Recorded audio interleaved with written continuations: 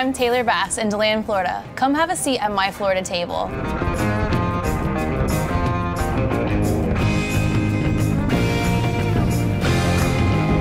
The amount of love you're put into your food, I feel like is also an ingredient and the vibe of the whole area. This part of town is becoming a gathering place. We all come here to eat good food and have good conversations.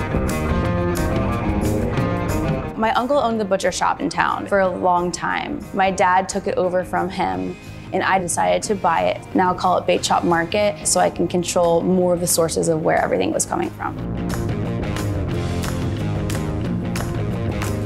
The market has become an extension of BakeChop. A lot of our creativity kind of go back and forth. We have a dish called the Left Hander, which is actually a half chorizo and half beef burger. Freshly ground comes here and is made into one of our number one selling hamburgers.